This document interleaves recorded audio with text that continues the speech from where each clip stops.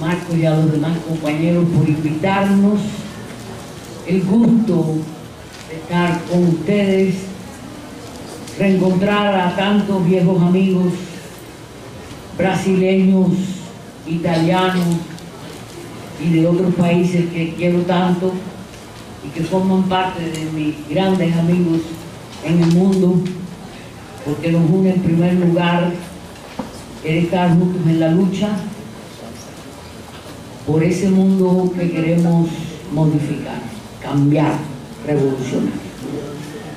Yo voy a hacer mi exposición en parte utilizando eh, algunos elementos y desarrollándolos que vengo sosteniendo y, algunos compañeros aquí en Brasil lo conocen porque eh, lo han leído, eh, justamente sobre la idea de ampliar el concepto, la categoría de su vuelta. y bueno, me encamino en esa línea.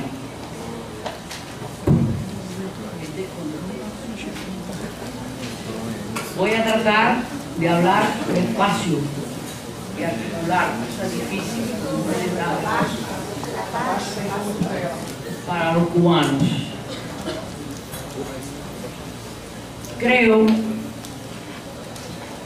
que se trata no solo, lo que es obvio, de entender a Nancy, sino de desarrollar y enriquecer a pero enriquecerlo en su universo siguiendo su espíritu y sus intenciones. Marcos nos recordaba el primer día el rechazo de Gramsci a la idea de completar el marxismo.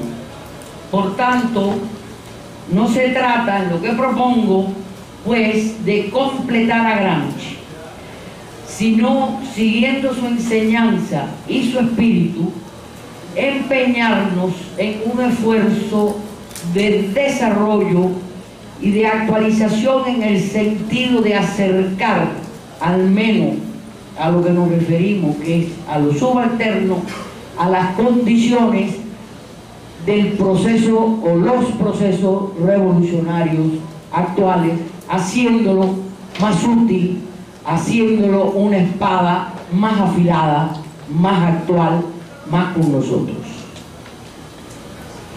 También vimos, y Guido lo ha desarrollado espléndidamente, lo que ocurre cuando en los casos como Spivak y otros, cuando se trata, digamos, de desarrollar a Gramsci extrayéndolo de su universo. Porque además del elemento que él recordaba, que usted había señalado, de cómo ellos no conocían bien la obra de Gramsci, no cabe duda que hay un intento ideológico, político y teórico de desviar este concepto y toda esta idea de Gramsci con tanta riqueza revolucionaria en otra línea, en otro sentido. Es decir, sacarlo del universo del marxismo, sacando tesis conceptos y análisis de la teoría dentro de la cual Gramsci ha desarrollado y desarrolló su pensamiento. Es decir, sacarlo de la concepción materialista de la sociedad y la historia. Pero a la vez que existen esos peligros, creo que hay que correr riesgos contra el inmovilismo de las categorías y los conceptos cuando la realidad nos llama a ello, no cuando es improvisado, abstracto, producto del voluntarismo, sino cuando el propio desarrollo de las condiciones, creo yo, que nos lo plantea, nos llama, nos exige. Y en este sentido, creo que al igual que en otras ocasiones he dicho, que Marx y Engels dejaron su teoría, es decir, el marxismo, permanentemente inacabado, inacabado porque en vida biológica no era posible y también porque por su propia naturaleza el marxismo solo puede ser actual y desarrollarse si está concebido como plenamente inacabado. Y plenamente inacabado también está Gramsci, el granchismo, sus concepciones, sus interpretaciones, su legado, sus enseñanzas y tanto que tiene y que nos da para el desarrollo de lo que es esencial, la lucha por la revolución. Eso en primer lugar. Todo lo demás es importante, pero viene después. Asistimos pues a nivel planetario, quiero recordar, en una gran ampliación de protagonismos e impactos en la sociedad en general de amplios movimientos de masa, que en el caso de América Latina se nos da como amplios movimientos populares, digámoslos también de otra manera, como amplios movimientos y rebeliones de los subalternos, donde en medio de sus insuficiencias, sus espontaneísmos erráticos, sus negativas están superando a la política, sus negativas a apropiarse del legado de Marx y de otras concepciones revolucionarias que pueden ayudarlo, siguen estando en el proscenio, es decir, en la parte delante del escenario de un teatro, hoy al menos en América Latina. Y los procesos de cambio se están haciendo esencialmente con ellos, ya sean más moderados o más radicales o menos estos procesos. Hablamos en nuestro contexto latinoamericano y también en otras latitudes de un nuevo sujeto, de un nuevo sujeto que yo quiero decir que es un nuevo sujeto histórico y revolucionario. No puedo conformarme con la idea de nuevo concepto abstracto, impreciso, ambiguo. Eso no creo que ayude.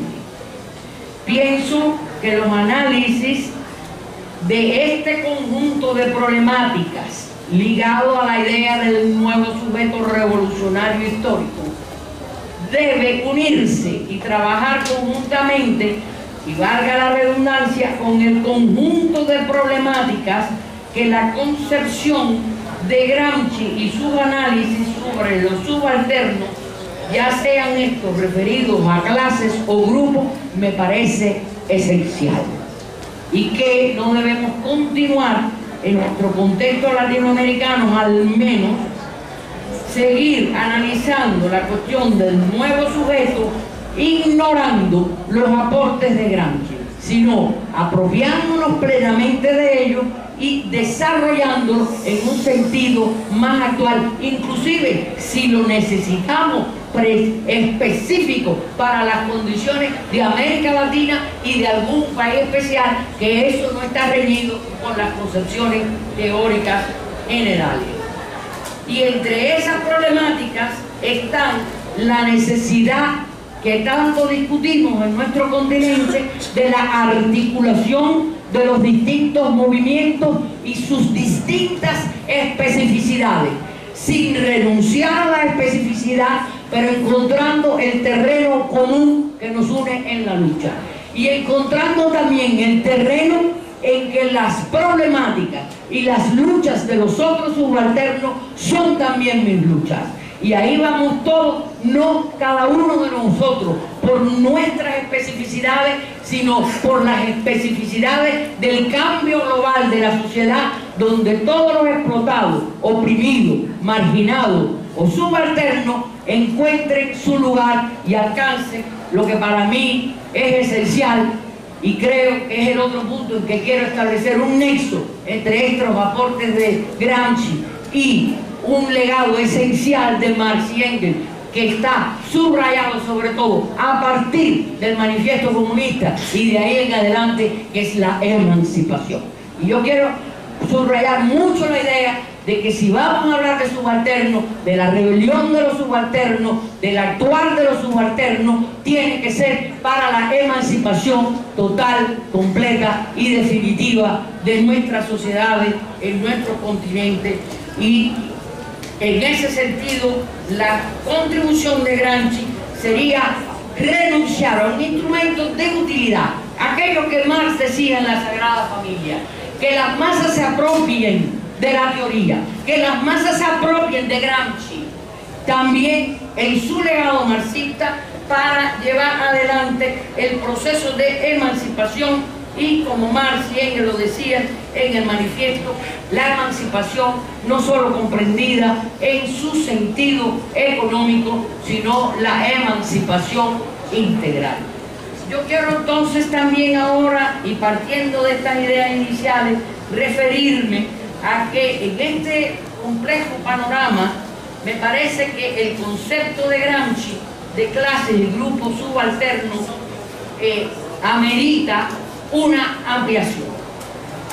Y me refiero a que Marx y Engels, ambos, como sabemos, se ocuparon sin duda del papel, función social y acción de grupos y estamentos, estaba mucho el término estamento, sociales, que no eran en rigor clases sociales, particularmente no en las teorizaciones, pero sí en los análisis concretos y momentos y épocas específicas pero no encontramos en Marx y en esto, me perdonan los compañeros, desarrollo un poco más una tesis que ya hace algunos años expresé en un encuentro sobre Gramsci aquí en Brasil, no encontramos en ello un concepto o una categoría que trate de englobarlos o aprenderlos, ni como tales ni en su interacción con las clases sociales.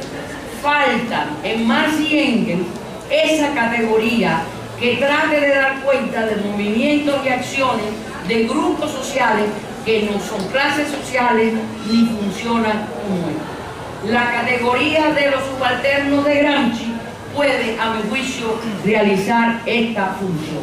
Yo diría inclusive que parece o da la impresión de que Gramsci se percata en alguna medida, al menos que hay ahí un vacío conceptual y categórico en marxismo, una insuficiencia explicable. Para eso está el desarrollo, para que otro lo haga. Gramsci mantuvo la tesis sobre la importancia y centralidad de las clases sociales, pero igualmente trató de configurar un concepto que diera cuenta de todos esos movimientos que no caben como tal en las clases y que no se agotan en ellas, pero que los análisis obligan a unirlo en los análisis de clases en alguna medida.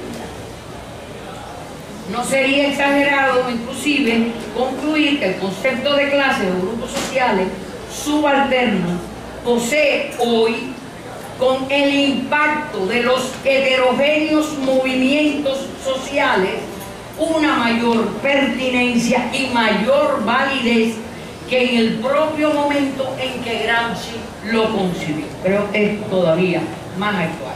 Y cuando hablo de heterogéneo, quiero señalar que son heterogéneos en el sentido variable, es decir, son heterogeneidades variables, no es una heterogeneidad única.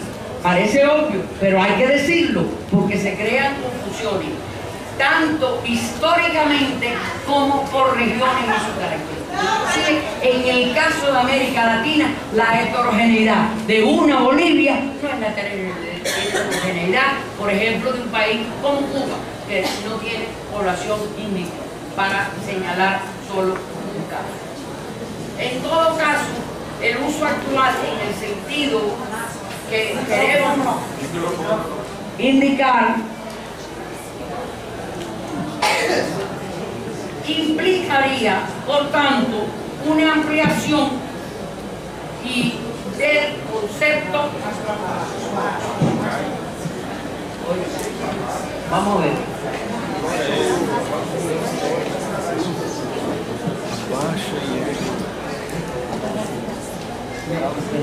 Ustedes gritan, yo lo juro. Implicaría una ampliación y una ampliación de su funcionamiento y funcionalidad en el análisis. La funcionalidad en el análisis. Se trataría más bien de concebir quizás, quizás, dos sentidos. de eh, subalterno, uno más restringido, más estrictamente siguiendo la letra eh, de los textos de Gramsci, pero otro donde también creo yo que está en cierta medida implícito en Gramsci, más ampliado. Siempre, sin embargo, sobre las bases y las líneas identificadas por Gramsci, no en contraposición, lo cual implica además, siguiendo a Gramsci, es seguir a Marx y a Engels y a Lenin y la evolución más revolucionaria del marxismo. Veamos en este contexto algunas precisiones, no puedo suprimir ahora algunas que Guido trató también y tan excelentemente, porque perdería la coherencia. Pero eh, me gustaría indicar que la idea de clases subalternas, ustedes saben, ya, empieza desde los primeros cuadernos, pero que el famoso cuaderno 25, Gramsci ahí recopila casi todo lo que ha estado diciendo, algunas de las cosas que usted aquí ha señalado, que es la griega. Eh, para la elaboración teórica de los subalternos, parece entonces importante para Gramsci señalar la necesidad de estudiar la historia. Y esto es importante en todo el sentido de que para entender la problemática de los subalternos en el mundo que se vive, hay que ver el movimiento y su evolución.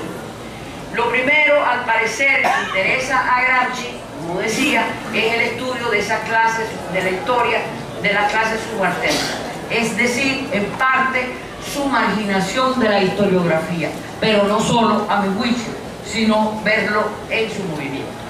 El propio título del, en el cuaderno 3 del parágrafo 90 subraya la intención esta que estamos señalando.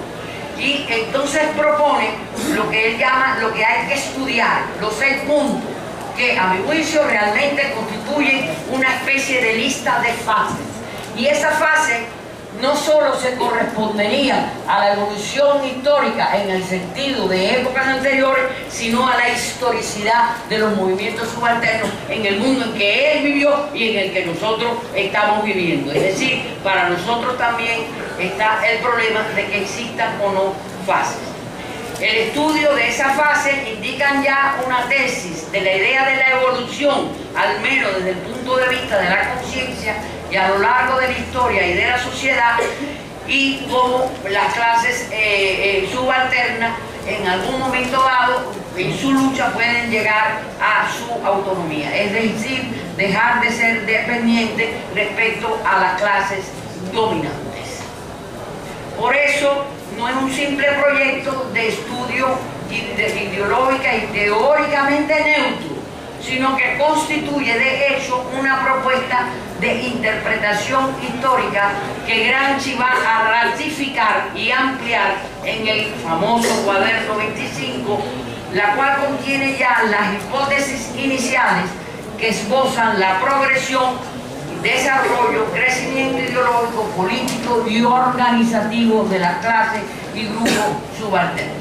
En este sentido, yo quiero señalar que el cuaderno 25, a mi juicio, implica un punto de llegada y un punto de partida. Es no solo un punto de partida, es también un punto de llegada, porque esa síntesis que Gramsci nos hace nos indica ya hasta dónde ha llegado su elaboración teórica. Es una reconstrucción teórica que tiene un valor teórico y metodológico específico, pero que por su propia naturaleza abre la perspectiva de todo un proyecto o efectivamente plan de desarrollo. Es importante destacar que una significativa frase, pido la ley yo, yo la tengo aquí, de, eh, una significativa frase del parágrafo antes mencionado, puesto que en ella Gramsci, al referirse a la falta de unidad de las clases subalternas en contraste con las dominantes, deja ya claramente establecido el nexo indisoluble entre los subalternos y la sociedad civil. Para las clases subalternas, la unificación no se produjo, su historia está entrelazada con la de la sociedad civil. Es una fracción disgregada de esta. Y eso es bien importante. Siguiendo mi argumento en este sentido, permítanme recordar una vez más algo que vengo señalando, que es significativo para lo que interesa nuestras conclusiones, que se pueda extraer una revisión ordenada de las referencias de Gramsci a la cuestión de los subalternos. En especial o en particular al uso que hace en unos casos y otros, ya sea de clase o de grupo. Esto ya se trató creo que el primer día por Giovanni, pero yo lo trato de manera distinta, para referirse a los subalternos.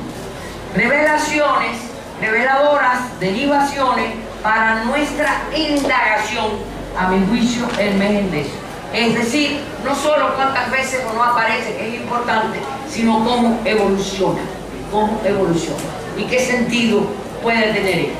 Así, en el cuaderno 3, la referencia se expresa casi exclusivamente mediante el concepto de clase y pocas veces aparece el término de grupo u otro. Esta situación se mantiene en lo esencial sobre la misma tesitura en otros cuadernos, donde el tema de los subalternos es tratado. Es el caso de los cuadernos 8, 9 y 10. Una cierta inflexión comienza a manifestarse en el cuaderno 13, donde las referencias a los grupos aumentan con frecuencia y en fuerza. No es solo que aparezca, es la fuerza, es el peso que tienen en el análisis. Y entonces Gramsci utiliza regularmente los dos términos de su análisis y observaciones sobre los subalternos. Tendencia que se confirma en el cuaderno 14. El panorama se modifica más sustancialmente cuando nos adentramos en el cuaderno clave número 25. Aquí la tendencia hacia el predominio de grupo es casi absoluta. Vale la pena inclusive algunas comparaciones en este sentido, porque Gramsci en este cuaderno sintetiza de manera más sistemática una parte de sus observaciones y juicios de cuadernos anteriores, incluyendo ese 3, que es esencial. Varios parágrafos y secciones son casi textualmente copiadas del cuaderno 3 pero de manera significativa en casi todas las ocasiones donde en el cuaderno 3 habla de clase subalterna, ahora Gramsci sustituye y pone grupo subalterno. No solo que se ponga más veces o menos, sino que hace esta operación.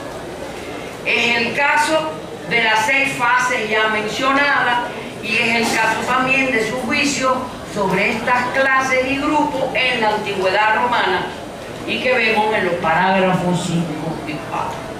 Es obvio que hay en esto una intención conceptual y teórica, pero no creo en ningún momento, coincido en esto plenamente conmigo, que se trate de un abandono, marginación o desplazamiento de una idea de la idea de clase por grupo en el cuerpo teórico ni es tampoco cuestión de desplazar a un plano secundario las luchas de clase o el papel de las clases en la dinámica social, sino que lo interpreto más bien en el sentido además de la ampliación que propongo llenando el vacío que a mi juicio tiene Marx y Engels en su elaboración, interpretarlo más bien como una toma de conciencia de que los subalternos, al incluir tanto a las clases como a los grupos, queda mejor expresada con la idea de grupo que no excluye la idea de clase.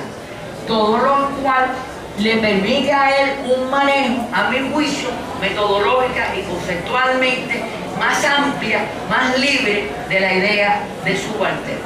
Hay pues una ampliación de la óptica que se atiene mejor a la heterogeneidad de los grupos subalternos, no solo la cuestión de la conciencia, la espontaneidad, sino la heterogeneidad queda mejor expresada, cubierta, si no expresada, menos cubierta con esto, y eh, nos permite también tener en cuenta que pueden existir, y eso habría que desarrollarlo aparte hoy nosotros, la diversidad en qué se es subalterno, porque se subalterno de diversas maneras.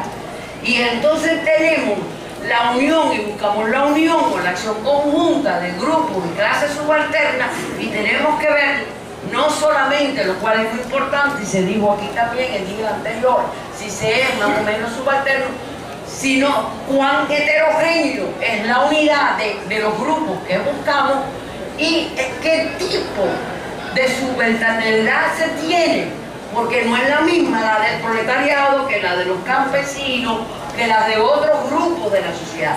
Y aquí se abre el campo de la diversidad del tipo del caso de, ser subalterno en que nos encontramos. Y esto para América Latina es la cuestión de los países precisamente de la periferia donde la heterogeneidad es tan importante y donde los diversos tipos dentro de la heterogeneidad es tan importante. Yo creo que aquí Gramsci puede ser para nosotros de una utilidad tremenda y no encontramos esto, a mi juicio, en Marx y en Engels. Y a mí me parece que esto entra exactamente en el desarrollo del marxismo como tal, en el espíritu mismo de los fundadores del marxismo.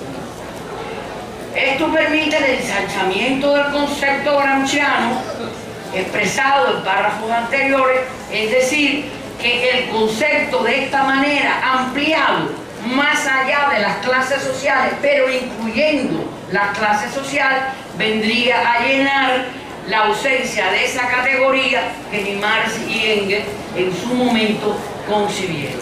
Y permite dar cuenta de manera más adecuada de la mayoría de los movimientos sociales tal como se están desarrollando hoy, tal como están jugando su protagonismo y su acción en las luchas sociales y teniendo en cuenta además la demanda continua de esos movimientos de que están dispuestos los más conscientes al menos a articularse con los grupos de partidos, organizaciones política, pero no perder su propia independencia. Y esto los compañeros de América Latina saben que es un punto muy candente en las luchas revolucionarias de hoy.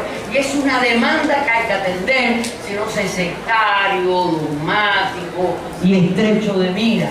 Eh, eh, no, se trata de un utopismo, no se trata de una ingenuidad, de las deficiencias de los movimientos sociales, sino de que se permita que se desarrollen a partir de la articulación de un resto, pero también en respeto a su propia personalidad, a su propio perfil y a lo que ellos puedan enseñar, es decir, como educadores que pueden ser, eh, de, siempre hay que aprender de alguien de una manera o de otra. Los subalternos ampliados cubrirían entonces tanto las clases explotadas y en general a los conjuntos oprimidos y marginados que actúan en gran medida como parte de estos movimientos sociales Pero no habría que caer, pienso yo, en desviaciones etnicistas, religiosas fundamentalistas, ni culturalistas. Creo que eso sí sería una desvirtuación de las ideas de Gramsci, aparte de que no sería útil. Y que no constituyen en realidad fuerzas de cambio social y progresista en la mayoría de las ocasiones. El grueso de las fuerzas subalternas, y fíjense que uso el término fuerzas subalternas. Y aquí incluyo en subrayo esto. La idea está en Gramsci también. Y la idea de fuerza subalterna me indica no solo la posición que el grupo o la clase tienen dentro de la sociedad, en primer lugar en los procesos económicos y sociales, nos indican también y nos la señala como fuerza, es decir, la idea de lucha, de participación en el cambio, de acción activa permanente.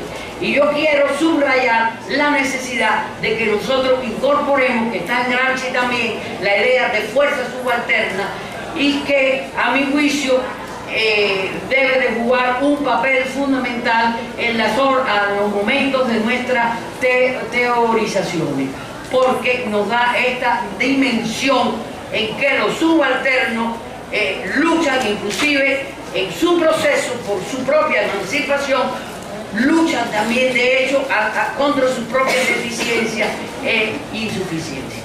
La fragmentación, dispersión y heterogeneidad, claro que es un obstáculo a superar y vencer.